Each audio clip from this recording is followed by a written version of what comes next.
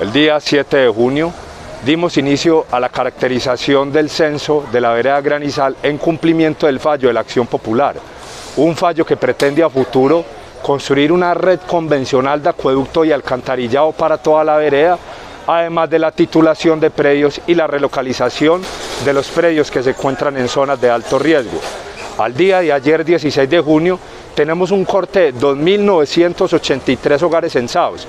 Esperamos en los próximos días cumplir la meta de los 5.000 hogares en toda la vereda.